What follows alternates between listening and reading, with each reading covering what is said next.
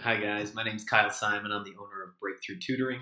Breakthru Tutoring specializes in helping students with all levels of math as well as ACT test prep. And we're located in Cuyahoga Falls.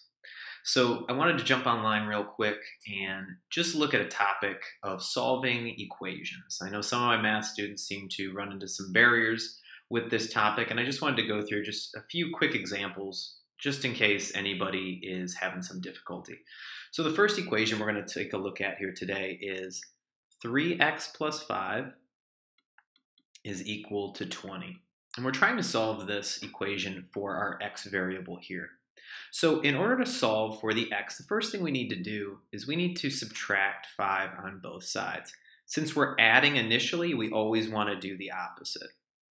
So here on the left, the 5's will cancel, and all we'll have left is the 3x on the left. And 20 minus 5 will give us 15.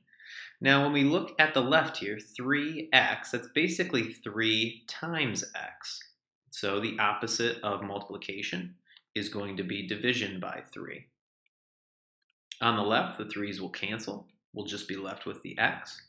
And 15 divided by 3 will give us 5. So that's a pretty easy two-step equation. Let's take a look at another one. Let's say that we had 5x plus 2. That whole quantity is divided by 2, and we'll set that equal to 6. So again, if we're trying to solve for the x in this equation, the first thing we need to do is get rid of the division by 2. So what we're going to do is we're going to multiply by 2 on each side. So we'll see the 2's cancel out on the left, and all we'll be left with is the 5x plus 2. And on the right, 6 times 2 is going to give us 12. Next, we need to go ahead and get rid of the plus 2 simply by doing the opposite and subtracting. As you guys can see, I'm systematically working my way down the problem so that if I do run into any errors, I can go back and recheck. On the left here, the 2's will cancel out. We'll be left with the 5x. And 12 minus 2 is 10. Our last step is simply to divide by 5 on each side, and we're going to see that x is going to come out to equal 2. All right, and the final equation we're going to take a look at today is 2x plus 4 is equal to 3 times the quantity x minus 1.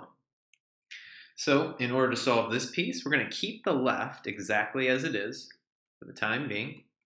And whenever you see a situation like this, this just means distribution. So we're going to multiply the 3 into each piece.